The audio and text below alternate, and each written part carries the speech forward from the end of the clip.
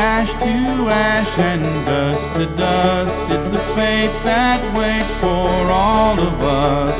But let's recall who's in this grave, buried here in Portland, Maine. This stone in the Eastern Cemetery is dedicated to Cosmo de Sanchez. The inscription reads Cosmo de Sanchez of Huamantla, Department La Puebla, Mexico. Died December 9th, 1848. Now, the year before, in 1847, Huamantla was the scene of an American victory in the Mexican American War, and it lifted the siege of La Puebla.